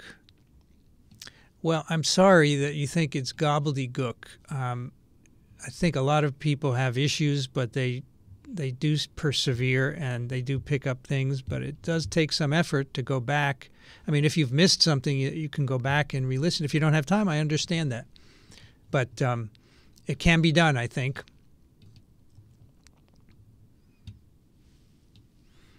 Okay, let us uh, see what we have here in terms of the quiz. Show the results.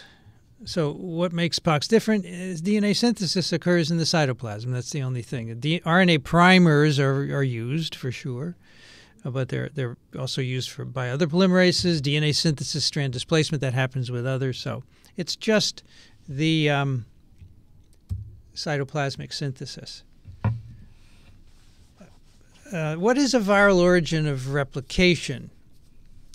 Let's take a look at them. We've got a number of virus genomes that we've talked about today with origins of replication the SV40, parvovirus, herpes simplex, multiple origins, adenovirus, two origins. By the way, you have a lot of origins in your chromosomes, right? Many, many, many origins of replication. Otherwise, it would take forever to, to copy your DNA. We knew nothing of origins until people started studying SV40 DNA. This gave us the concept of an origin of replication. We could not get that from studying host DNA. It was too complicated. So, one of the billions of ways that viruses have illuminated cell biology. Origins are AT rich segments recognized by viral or origin recognition proteins and where DNA replication begins. And I told you they're AT rich because AT base pairs are easier to denature than GC base pairs. That's where the DNA replication machines assemble, and I've shown you a couple of examples of that today. And some can have multiple origins, some have just one. Here's a close up view of some origins. We've already looked at the SV40 origin, which is at the very beginning or end of the DNA sequence. Again, at over the core origin, AT rich sequences, which are in green, large T binding sites. That's an origin recognition protein. Um, and they overlap with uh, the, the transcriptional unit, the early transcriptional unit. Here's SV herpes simplex 1, one of the origins, ORI uh, L.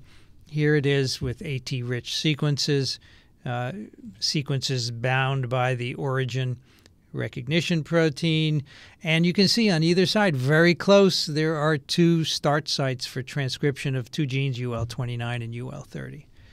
So the origins and transcription sites are often very close and overlapping. And finally, adenovirus 5, the origin is the end of the DNA. That's where the uh, polymerase with the terminal protein bind, and there's that yellow sequence recognized by origin recognition proteins. There's an AT rich sequence to help denature the DNA in the beginning. And here are two binding sites for transcriptional regulators involved in the immediate early transcription unit. Um, and just to review what we've talked about, right? T antigen is the origin recognition protein of polyomaviruses. It binds specifically to DNA at the origin. The rep 6878 protein of parvoviruses binds the ends. It introduces nicks. It's also involved in unwinding of the DNA. The adenovirus uh, pre-terminal protein binds uh, at the ends with, the, and so it's bringing the polymerase in as it's doing so. And in the case of herpes virus, the UL9 is the origin binding protein, uh, which uh, here's herpes up here, which is in red, uh, which recruits viral proteins, including the polymerase, to the uh, AT rich origin and then helps to unwind the DNA. So, in all cases, the origins are bound by origin binding proteins, which then recruits the DNA replication machinery, which can be viral or cellular, depending on the size of the viral genome. The uh, DNA, these origin recognition proteins that we've been talking about, like T antigen, the rep protein of uh, parvoviruses. Here's another one. This is a papillomavirus uh, origin binding protein. It's called E1. This is a bovine papillomavirus, which was studied for many years because people couldn't get human papillomaviruses to reproduce in cells in culture. So these are proteins that bind origins. They're DNA binding proteins, of course. And they all have a very similar protein structure. So here is an alpha carbon trace of the structure of each of these origin binding proteins. Uh, and you can see they have a very similar structure consisting of a beta sheet in the middle with multiple beta strands shown in red, uh, and then a variety of alpha helices. So these clearly evolved from a common ancestor and diversified to be slightly different according to the virus. The, AA, the uh, parvovirus rep protein has, in addition, another activity. It's an endonuclease, right? It nicks the DNA to eventually allow the two strands to be separated or resolved. Terminal resolution, we call that sort of similar function as the topoisomerases for DNA, uh, SV40 DNA replication to separate the two products. So it has a, an active site for the endonuclease, which of course the other two origin binding proteins do not. Now, SV40 large T antigen is one of the world's most studied proteins. There's actually an acronym for it, which I don't remember. World's most studied protein, because so many laboratories have studied this protein. Why? Well, first, SV40 was one of the first viruses to be studied in great detail with respect to DNA synthesis and transcription, but also it's got so many activities in it. And here's a, a diagram of the large T 708 amino acids, right? and look at all these different activities. So let's see something that you might. Okay, here in the middle, this segment, origin DNA binding. That's the part of large T that binds the origin. If you muck with these amino acids, the, the protein won't bind the origin. The other ones are not so important for binding the origin, but they have other activities. For example, uh, there's part of the protein that has helicase activity, unwinding the double stranded DNA. Here's a part that binds polymerase alpha to recruit it in. Remember, that's the polymerase that makes the primers and short DNAs. It binds to large T. And there are other binding sites as well. So, large T, fascinating protein. There's actually also a, a binding site for RB here, which we're going to explore in a moment retinoblastoma protein. T antigen is a species specific DNA binding protein, origin binding protein. What that means is that it will not bind to DNA in the wrong species. So if you take SV40 which is a simian virus, a monkey virus, and try to infect mouse cells, the T antigen will be made. It will bind to viral DNA, but then the the sequence of T that binds the polymerase alpha is incompatible with the mouse polymerase alpha. So even though T antigen of SV40 will bind SV40 DNA in a mouse cell, that's no big deal, right? It's a viral DNA, a viral protein. Then when it comes to the mouse polymerase alpha to bind T, it doesn't work. So replication stops there. That's what we mean. It's a species specific uh, DNA binding protein. The other activity, which is really important, not only for today, but for thinking about transformation and oncogenesis, which we'll get to in a couple of weeks, is that this protein binds and sequesters cell cycle regulators. And no, spike of SARS CoV 2 is not the world's most studied protein, because this protein was studied for over 50 years, and you, it's going to take more than a couple of years of spike. And spike studies have been limited to mostly structure and antigenicity. And I would argue that you, we've learned so much more about cell processes from studying T antigen. T antigen causes cells to enter S phase. Why do we care about that? Let's go let's explore that now. This is really cool. Most of the cells in your body are not dividing. They don't need to. Exceptions are epithelial cells at say mucosal surfaces. They're always falling off, getting damaged. They need to divide and get replaced. But you know, your brain cells are not dividing. Certainly, your immune cells divide. Uh, muscle cells don't need to divide unless you're bulking up, exercising, want to get big muscles most cells in your body are not dividing. So if they're not dividing, they're not doing DNA synthesis. And that's a problem for DNA viruses that need to tap into the DNA synthetic apparatus of the host. These viruses will not reproduce well in quiescent cells. Quiescent means they're not dividing. So, what's the solution? A, a virus can't detect whether a cell is dividing or not before it gets in right? There's no flag on the surface of a cell saying, I'm not dividing, and the virus can avoid that. No. Viruses will bind, they will get in, and then if the cell's not dividing, are they dead in the water? No. No, not at all. The virus can kick the cells into dividing. They can do it. It's so cool. They, and not every virus does this. You know, the, some viruses don't care about the nucleus. They got everything on their own. The pox and the mimes don't care, so they're not going to. They could go into any cell and, and reproduce. Doesn't matter because they don't need the nucleus at all. But many viruses need to kick the cells into dividing, and that is done by early gene products. Which is an early gene product that you've heard of? Yeah, T antigen.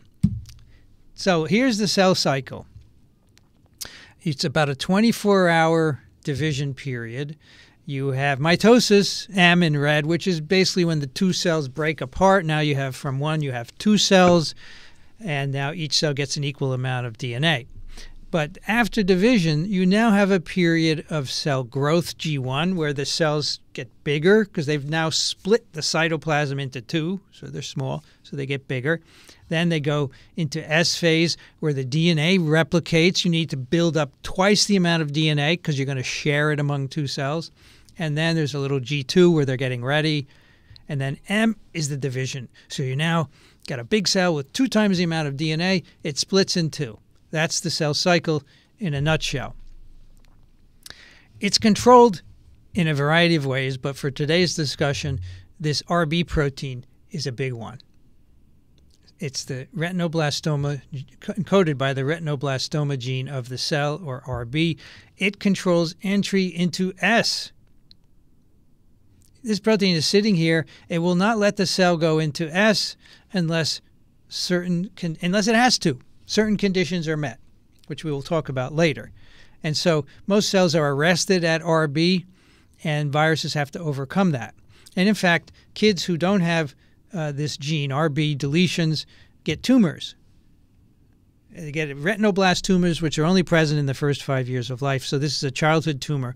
But the reason is that if you remove RB, the cells keep dividing forever, and that is a recipe for cancer, as we'll see later.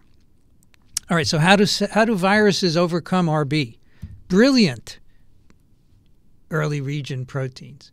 SV40 large T, papillomavirus E17, adenovirus E1A. Remember, these proteins, they're in pink, they bind RB. That's one of their functions. Remember on the picture of uh, the T antigen of SV40, there's an RB binding site. Well, also E1A and E7 will also bind RB. Why is that important? We've actually seen this slide already. RB is normally bound to a set of transcription proteins called E2F, which hit which bind to promoters and silence the promoters. They recruit histone deacetylases, which silence the promoters. The genes are genes needed for cell division. They encode replication proteins and other proteins involved in mitosis.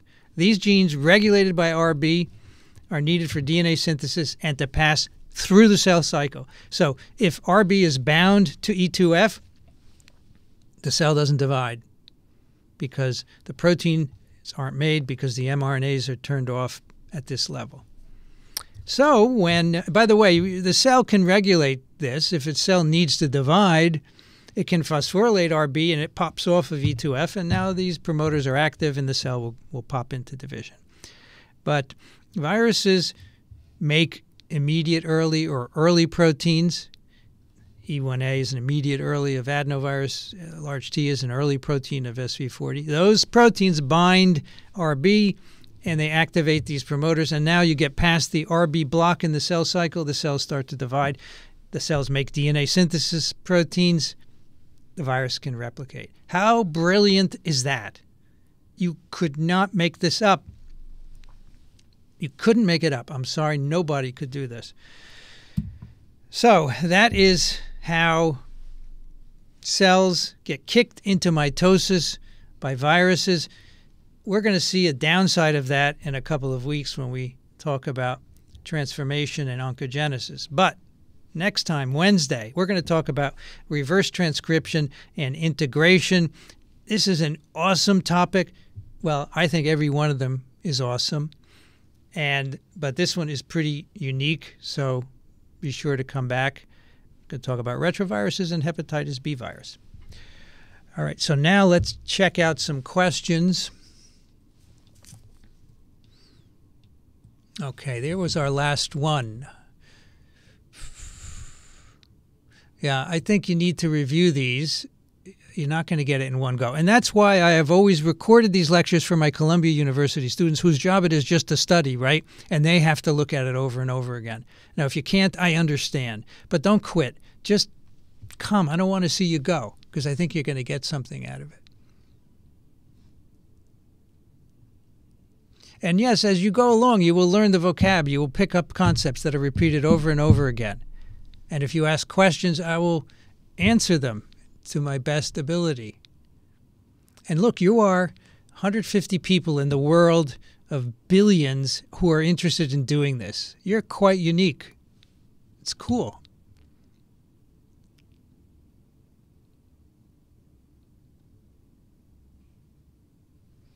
Are you teaching in person or only online? I teach, um, no, we're, we're back in person at the university. I've taught a couple of lectures. In fact, Wednesday I do a lecture in person, um, and in the spring I teach this course in person at Columbia. Um, so we did online last year, but everything is back in person now at Columbia University. Uh, this is a challenging course, prereqs biology, introductory biology uh, course at Columbia, which means you you can't take this as a freshman because the, the biology courses are freshman courses. Thank you, Mr. X, for your contribution. Really appreciate it. Oh, by the way, if you're here, hit the thumbs up. That's kind of helps spread the word, right? Thank you again, Mr. X. Really appreciate it. Thank you, Marge716. I love this stuff. Thank you, Kate, for your contribution. Thank you, SARS, for your contribution. Thank you, Barb Mack, for your contribution. I've started Fever and Hooked. Yeah, Fever is great. Okay. Do the proteins produced by DNA viruses often have different concentration thresholds to bind their target's function? Oh, yes, of course. They all have different thresholds. Of course, it depends what proteins you're talking about. But even the origin binding proteins will have different thresholds uh, because, you know, depending, in some cases, there's more than one origin and so forth. So, yes, absolutely. Large T is also an ATPase. Yes, um, that is because energy is needed to unwind the DNA and probably for other activities of T antigen. So the ATP provides the energy. ATP hydrolysis provides energy.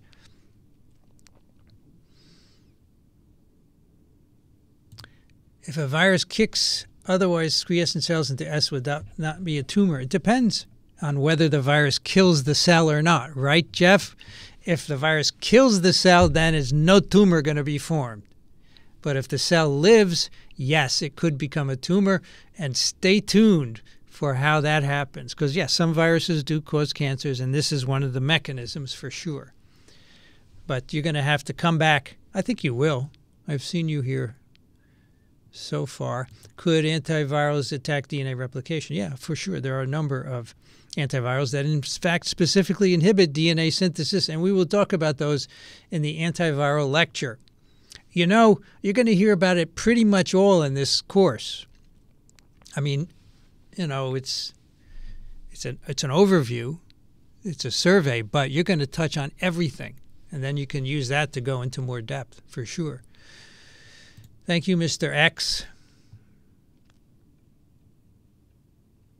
And I know you don't like to see these donations, uh, Jared, but they're really helpful to pay for our expenses, okay? I recall a baby that had a retinoblastoma. Do most survive? I believe they do. They may have to remove the eye, though. Yes, absolutely. How much RB blocker inside a virus to start replication? Seems like it would have to be a lot. Well, it's a well. Think about virus getting into one cell, right? And then the DNA is transcribed. You start to make T antigen, and you don't have to hit all the promoters at once, right? You can start at low level. So it's all a matter of mass action. Thank you, John, for your contribution. Really appreciate it. And I know it's distracting, but I have to thank everyone who is uh, involved. Too many abbreviations. Well, I'm sorry. Um, if we spelled out all the words, um, that would be a problem also. But eventually, I think you will get it. Thank you, John, for your contribution. Really appreciate it. Are there specific viral genomes in our DNA? Absolutely. And we will be talking about them. Here we go. Good words from Vanity. Please do not feel like you're drowning. I promise, as a former student, it's manageable. Regardless of how much may go over your head, you will take away a great deal of info. Yes, Vanity took this course beginning of when? Summer of 2020. So, and everybody has trouble. It's not easy. You'll get through it. The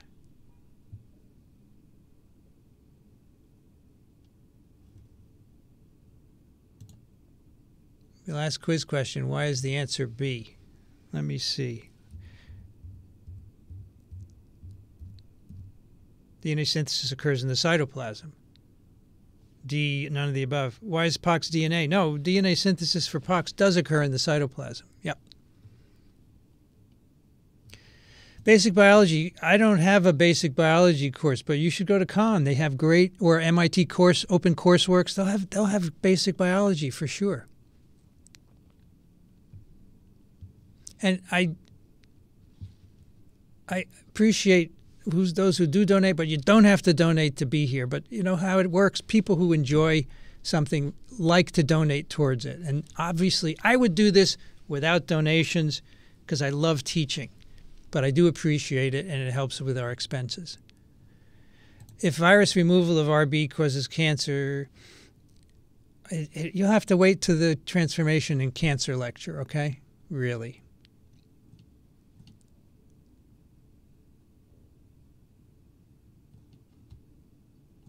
And um,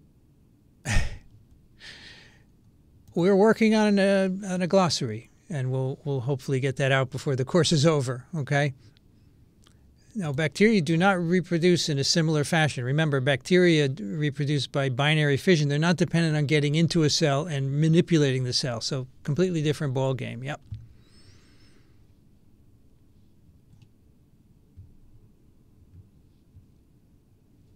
Yeah, this is a lot of work, and that's why there are just 160 people who are sitting in on it, right? But I have to say,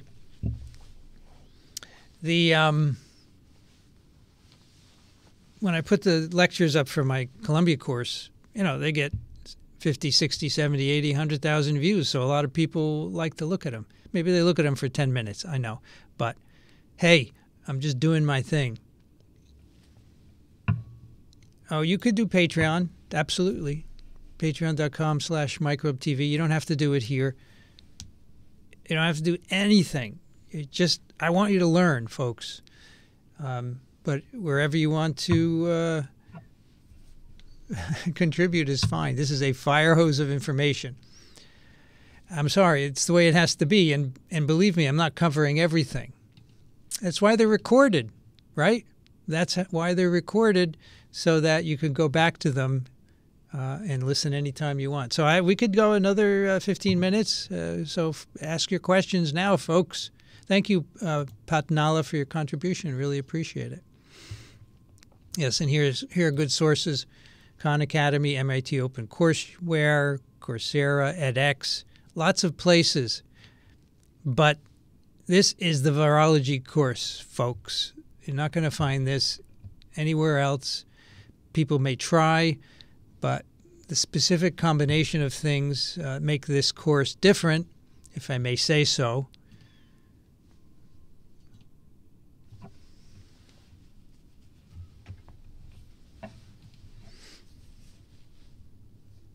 Why is it that there's no jerkiness after like the first 10 minutes, but it's only the first 10 minutes? I don't understand this. oh, well. Any other questions, folks? I'm happy to stay, but if not, I will leave uh, and you can leave early. Early dismissal. Because of your lessons, I decided to do a master's in virology. Well, that's great. That's what I'd like to do is inspire people, right? That's my goal. And that's my single goal. Absolutely. Yeah, the textbooks are much deeper if you, and they're not cheap, I'm sorry, although you can get a used edition. But uh, if you don't understand something, read the, the textbook goes in deeper, but it will really help explain things a lot better. Open reading frame and reading frame. So, an open reading frame, remember that proteins are encoded in triplets of bases, right? three bases. And so an open reading frame is a series of three bases that can be read by ribosomes. But some of those triplets encode for stop. And so that ends the open reading frame. The ribosome stops. And so an open reading frame is a term we use to signify there's a, a portion of the DNA that could encode a, a nicely sized protein, and we may not know what it does. That's what open reading frame or ORF means.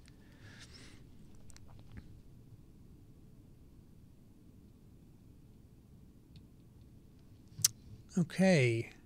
When DNA polymerase binds to the DNA starts, is it not possible for RB to block anymore?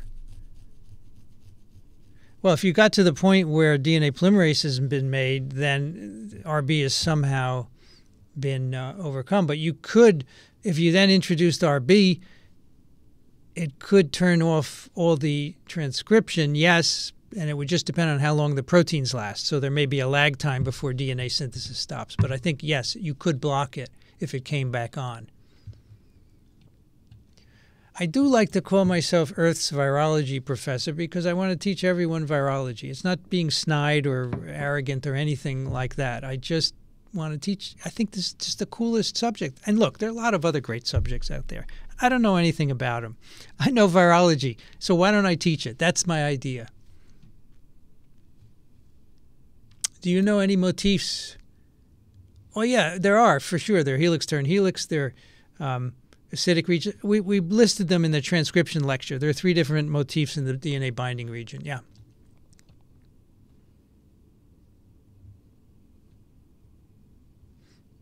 Um, all right. So the study questions. Uh, maybe one solution is at the halfway point of the course, we do a massive, a two-hour live stream where people could ask me to clarify any of the questions of the past 12 lectures. How's that work? I mean, we're we're at eight now, so we would have it in a, maybe a month or so. Okay, I'm willing to do that. What do you think? Let me know. Yes, you can use earlier lectures for sure. Absolutely.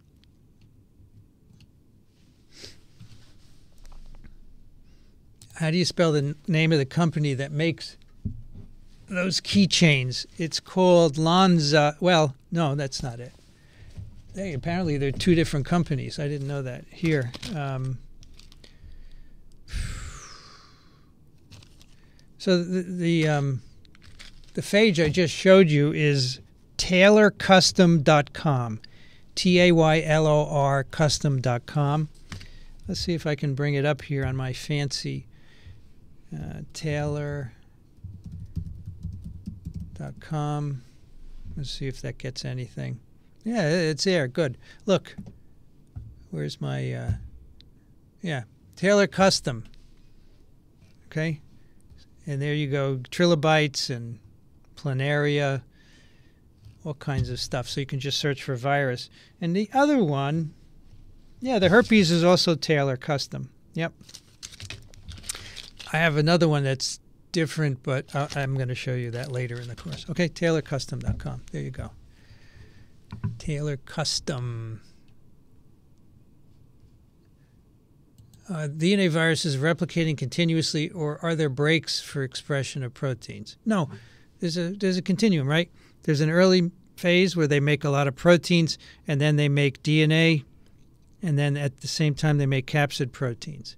So DNA occurs late but continuous. Doesn't occur early because there are no capsid proteins early.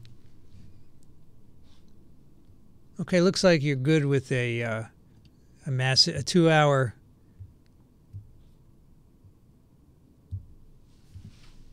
a 2-hour uh, review. So I'll, st- I'll I will schedule that It'll be the same hour, you know, 11 a.m. or so, right, to make it easier.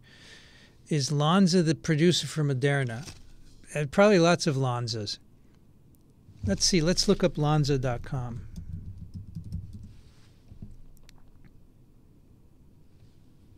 Yeah, it, it looks like they do some health-related stuff, but that's got to be another Lonza.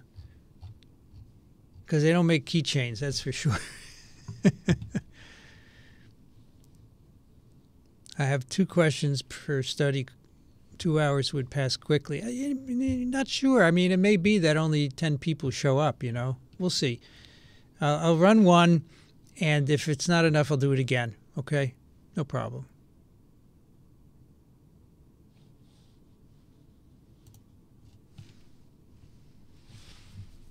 Okay, folks, time to wrap up. Thanks so much for uh, coming here today. And um, Stay safe. I'll see you Wednesday. Okay? Bye bye.